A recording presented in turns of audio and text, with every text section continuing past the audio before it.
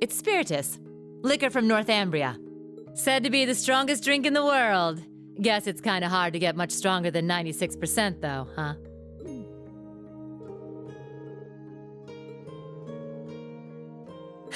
right? I knew you'd be able to appreciate it. Never thought the day'd come when I'd get to talk with you over drinks like this. That new Class 7 of yours, they're a good bunch of kids.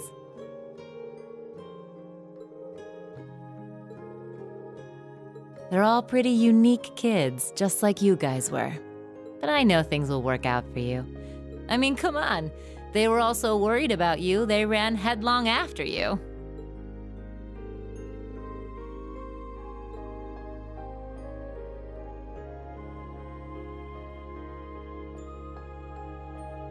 You already knew, didn't you? Who those purple Jaegers are.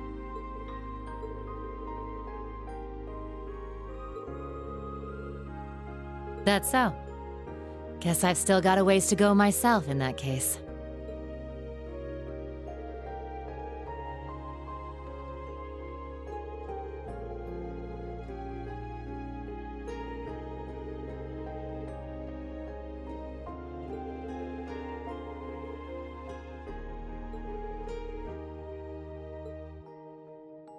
That's a nice little scenario, Rean. But you know it's a load of bull, don't you? The annexation of Northambria was done under the Imperial government's orders.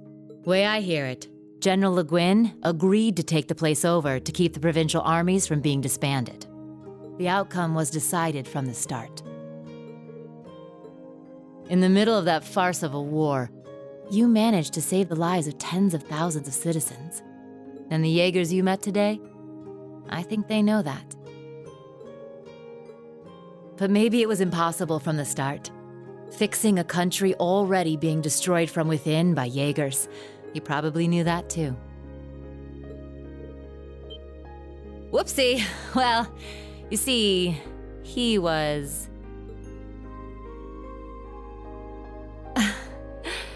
he was my first love. Well, actually, he was the closest thing I had to a dad. Way back during the Northambrian disaster, when the Salt Pale covered so much of the Principality in a storm of salt, a man took in an orphaned infant. He was a former colonel in the army and one of the people who founded the Northern Jaegers. As soon as I was old enough to understand anything, I knew that Jaegers who came back with foreign currency were considered heroes. The man who raised me was one of the leaders of the Northern Jaegers, the heroes of our homeland. I looked up to my dad more than anyone. Wanting to be just like him, I joined a juvenile Jaeger Corps at the age of 10. After a few years of harsh training, I was admitted to the main corps at the tender age of 13. It was there that I experienced my first real battle. It was hell, a field of death, where lives are tossed aside to satisfy someone else's desires. There I lived, smoke and blood painted across my body. And there I stayed, eventually becoming the Jaeger known as the Purple Lightning. But after a while, it reached a point where I couldn't take it anymore. When I was 18, I was assigned command of a squad. We had a mission near Erebonia, fighting some proxy war on behalf of the nobles. The enemy was Needhog. My squad was destroying them, but just when we thought victory was ours. Our efforts to avoid dragging any civilians into the fight left us open to a counterattack. We got hit hard. And then my dad showed up and saved me. Even though he was serving as the commander for the entire Corps, he came to our rescue and suffered a fatal injury for it. Do you see now? This is the fate of all Jaegers. You must think long and hard on whether you wish to continue down this path.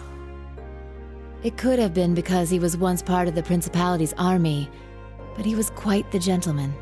Now that I think back, he never seemed to like the fact that I became a Jaeger. Anyway, he left me with those final words and passed away in my arms. I screamed and screamed until my voice gave out, until I passed out from utter exhaustion. When I woke up, I was in an Imperial Army camp.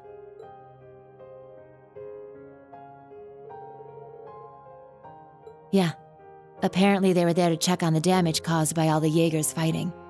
Neithardt and Mueller Vander, who were both second lieutenants back then, were there too. They told me the battle had been over for a while, and all my comrades had already packed up and left for home. Hadn't even thanked them before rushing back to my hometown. And what greeted me when I got there were celebrations and congratulations from my friends and the townsfolk. We had lost my father, but we won the war we were hired for. The nobles had given us an enormous pile of mira. That meant we wouldn't die of starvation during the coming winter. I was relieved, but my tears just wouldn't stop. In order to save my hometown from poverty, I covered myself in the smoke of war and the blood of innocents in foreign lands. Seeing the smiles on the faces of everyone in town and knowing the cost cut me deep. It was right then that I decided to quit being a Jaeger and leave my hometown. I joined up with the Bracer Guild, knowing I could put my combat skills to work and make some decent Mira if I hit A rank. That way, I could send some money back home. Money that wasn't stained with blood.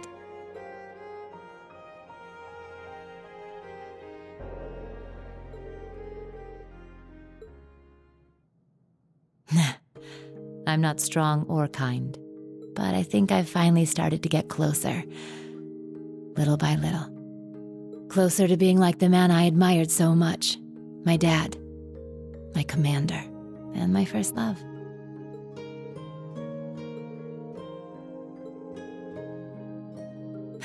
yeah, no getting around the fact that I've got myself the daddy of all father complexes.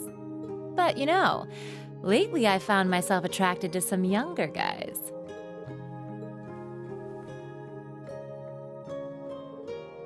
You got me talking too much. You don't watch yourself, you could make a real dangerous womanizer. Well, with that, I bid you good night and sweet dreams.